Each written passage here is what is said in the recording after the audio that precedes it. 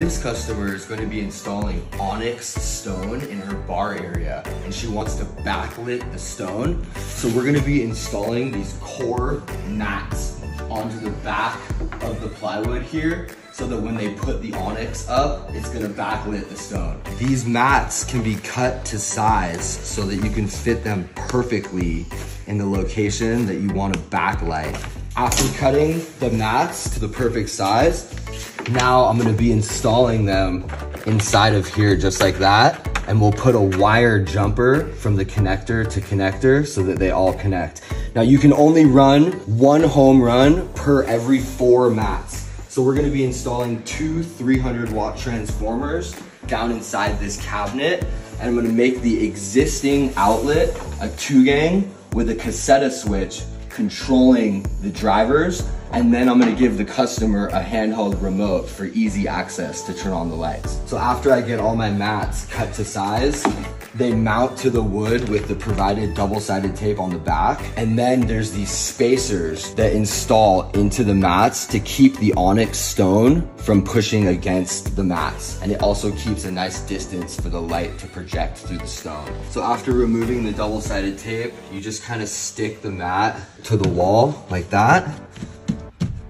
And then they come with these connectors. I don't like these because they're red and black. So I make my own jumper and I'm gonna install a jumper inside the connector, one on the negative, and then you wanna install it on the same terminal on the negative, and then one on the positive, and then on the same terminal on the positive.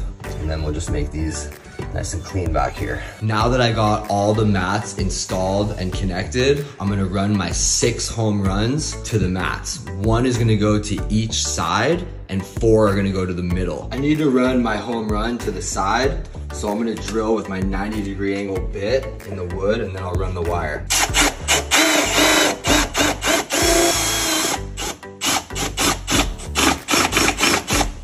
Now that I have my hole drilled, I can run my low voltage wire from side to middle and then I'll have it behind the mat here and I'll go down through this hole down to my driver that's gonna be inside the cabinet. So now I'm gonna do the same thing on the other side. That one didn't go as smooth, but I still made it through. So my low voltage wire will come out just like that and we'll make it down to the hole there and this will all be behind the mat that's installed on the bottom right here so you can't see the wire. So I ran my home run from the side to the middle and now I'm running it from the middle down to where my drivers are gonna be down here.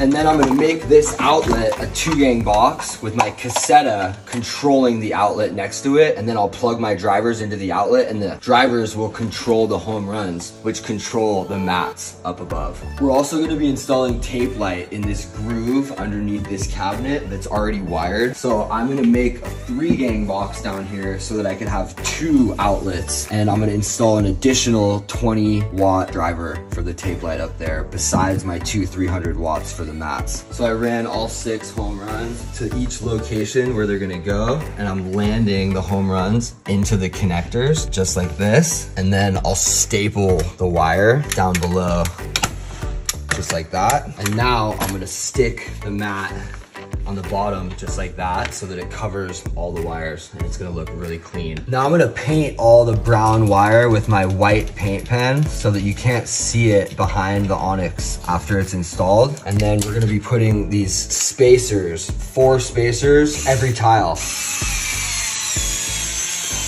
Just like that. So there's like one there and then one there. Now I'm gonna cut out my three gang box into the wood with my multi so that I can have three switched outlets for my drivers. And then I'll land my home runs to the drivers. I always like to test each home run before I get too deep. So I installed the appliance cord on the driver and I plugged it in temporarily. And now I'm gonna test each home run just to make sure that I don't have any shorts or any reverse polarity or anything like that.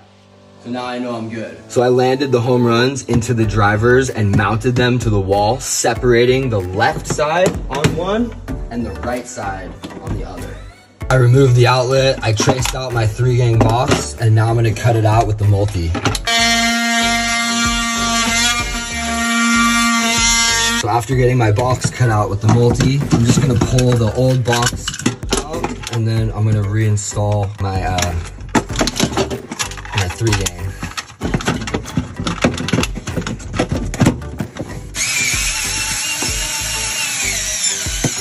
Just like that.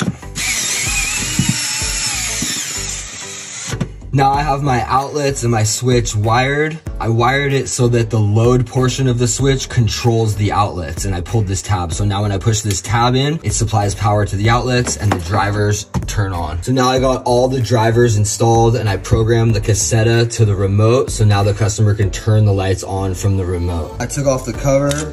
I mounted the remote bracket and then the remote just slides on the bracket like that. And then I'm gonna put the two gang cover that I cut to fit into place right here.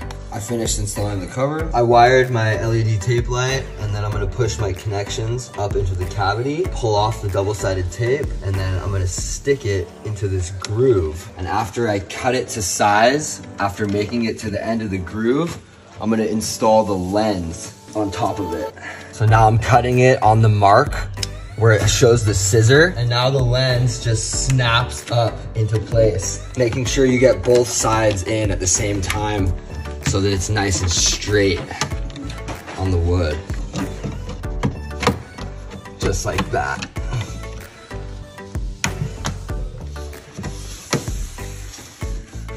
Dimmer on. The under cabinet tape light turned out so clean. It's nice and flush.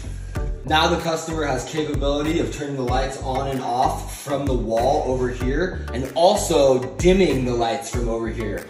I did notice there's a couple LEDs that are out, but it's not gonna be a big deal. Once the Onyx is up, you won't be able to see those.